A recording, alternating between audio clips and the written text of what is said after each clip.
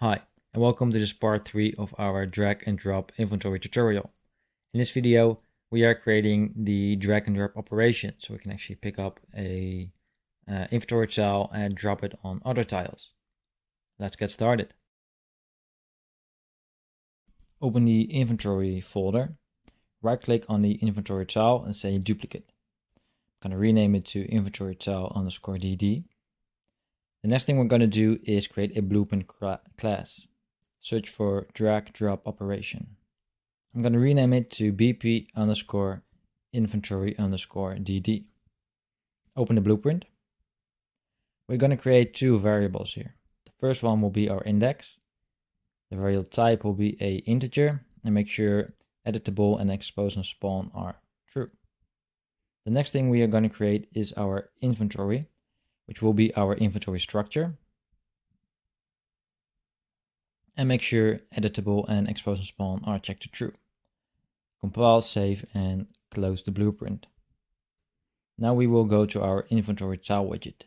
Go to the graph. The first thing we're gonna create is a on mouse button down override function. Disconnect the return node and search for detect drag if pressed. The mouse event will be the pointer event. Make sure the drag key is set to your left mouse button and connect the return node. The next override function we will create is on drag cancelled. So if our drag is cancelled, we are gonna get all widgets of class the widget will be our inventory widget. We're going to get a copy and set grid.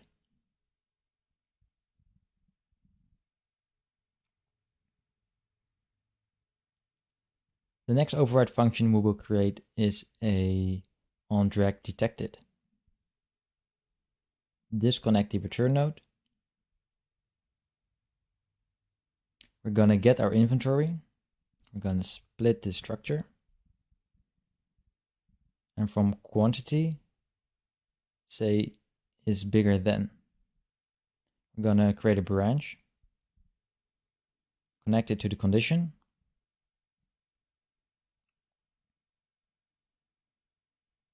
We're going to go to our set tile, copy this top part, so Control C, go back to the on drag detected and Control V to paste. Connect this to the true output.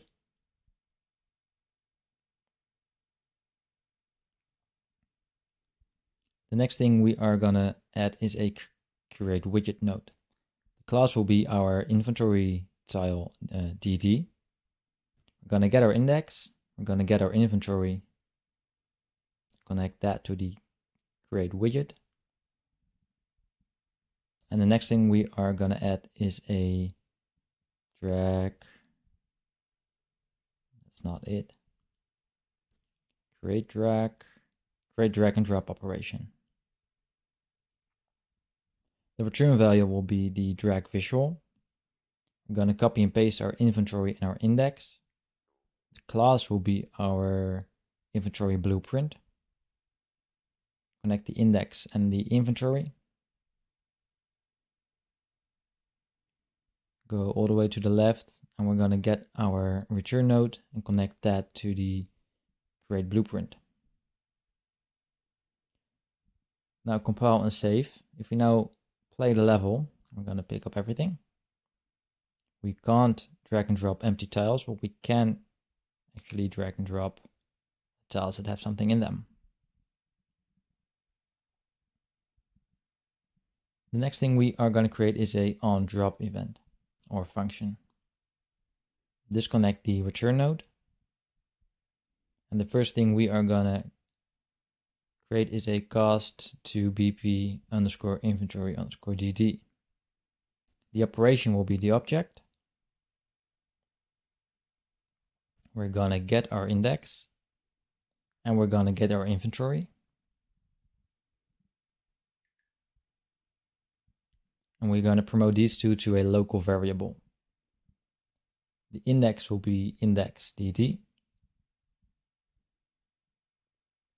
And the inventory will be inventory dd.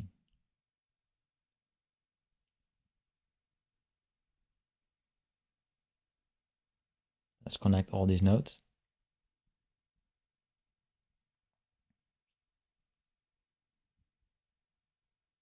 We're gonna get our index DD integer and our index, and we're gonna check if they're the same. So are they equal to each other? I'm gonna create a branch, connect this to the condition, and if they are equal, then we are gonna say cancel drag and drop.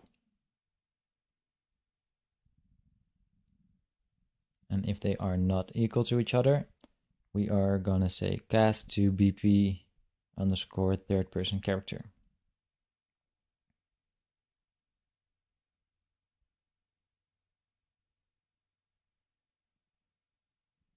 We are gonna get our player character.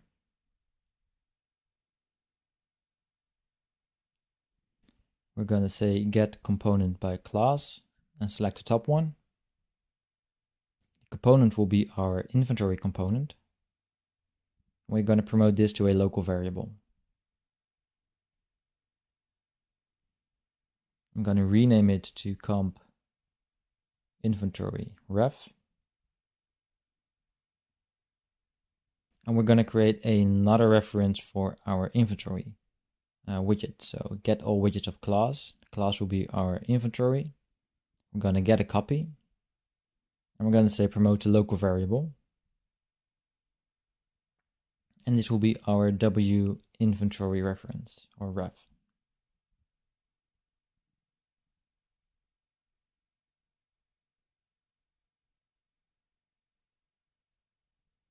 We're going to create a branch.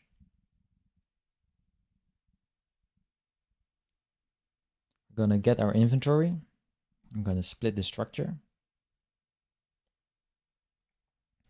And we're going to check if the quantity where we're dropping on is zero or not. If that's true, so if we are dropping on a empty tile, we are gonna set array element. We're gonna get our component inventory reference. We're gonna get our inventory array. Connect this to the target array. The index will be the index dd. And the item, we are going to leave that blank. We're going to create another set array element node. We're going to copy and paste the inventory array, connect that to the target array, and the index will be our own index. And the item, that will be our inventory DD.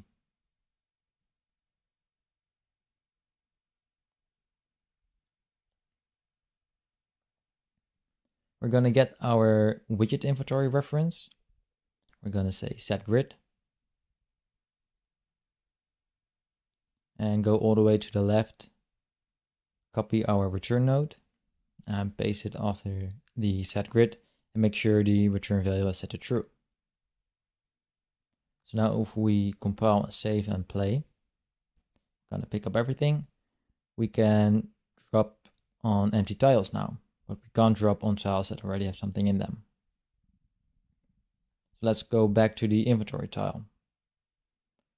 From this branch, from the false output, we're going to create another branch.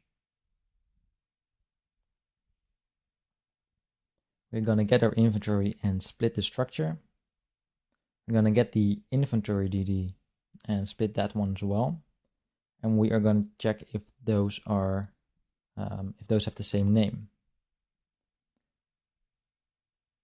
And we are going to check if their uh, if the quantity is less than the max stack. We're going to create a AND boolean and connect it to the condition of the branch. If that's true, we are going to create a for loop. We are gonna get our inventory. I'm gonna split the structure. from quantity say subtract and the max stack will actually be the top one and quantity will be the bottom one. Connect this to the last index. If the for loop is done, we are going to get our widget inventory reference, set grid, and we're going to copy and paste the return node and connect that to the set grid.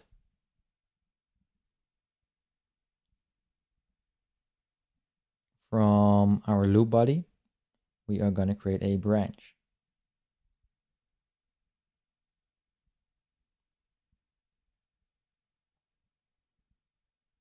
We're to get our component inventory reference. We're to get the inventory array.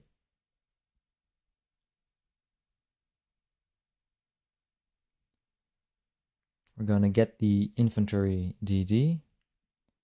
And from the array, we're to get a copy. And the inventory DD should be our index DD, of course. Connect that to the index from our copied inventory. Split the structure. And we are going to do actually the same for our uh, own index copy and paste this part, say get copy, and this index will be our own index. And split the structure.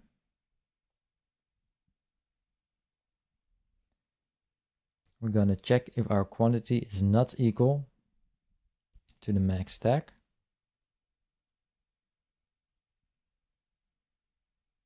And we're going to check if this quantity is uh, not equal to zero.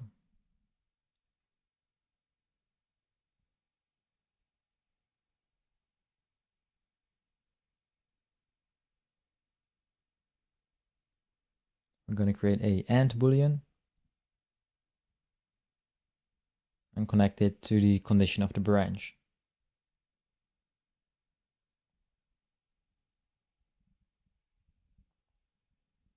From true output, we are going to create a set array element node. We're going to copy and paste the inventory array. That will be our target array.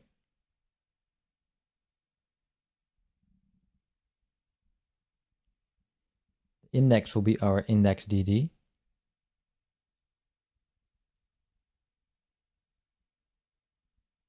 We are going to copy and paste this top part we are going to split the item from the array element. And name goes to name, image to image, max stack to max stack. And the quantity we're going to sub subtract 1. So minus 1.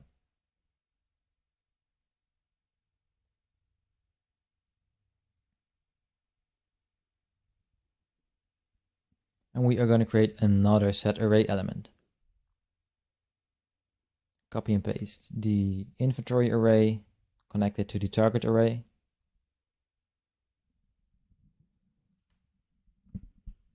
The index will be our own index. We're going to split the item. I'm going to copy and paste the inventory array. We're going to get a copy. The index will be our own index. I'm going to split this one connect name to name, image to image, and max stack to max stack. And the quantity, we're going to add one. So plus one. Connect that to the item quantity.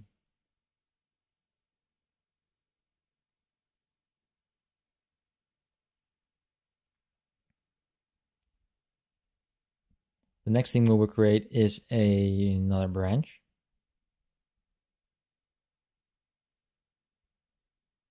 we are going to copy and paste this first part. And we are going to check if the quantity is zero.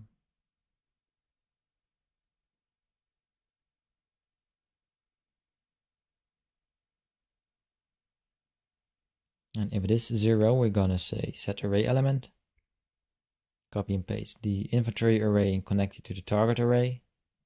The index will be the uh, index dd and we're going to leave the item blank.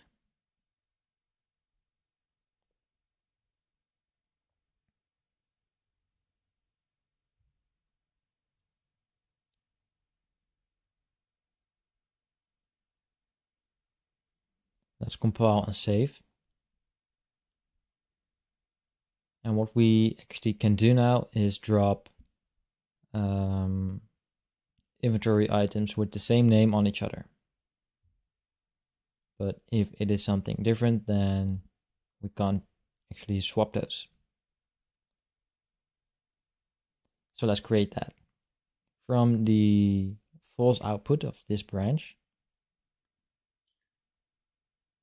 I'm going to say set array element.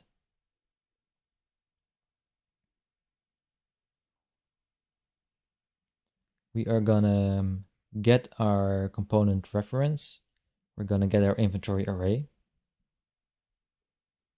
And that will be our target array. The index will be our index DD. And the item will be our own inventory. We're to set array element. And we're to do the same with the inventory array. Uh, but this time the index will be our own index and the item will be the inventory DD.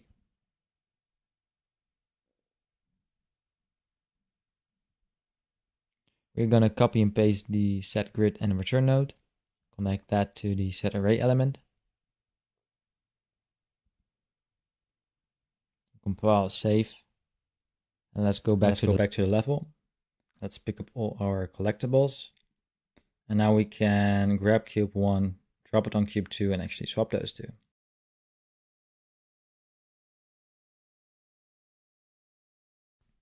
Thank you for watching. If you've liked this video, don't forget to subscribe to my channel and leave a like. I will see you guys for part 4.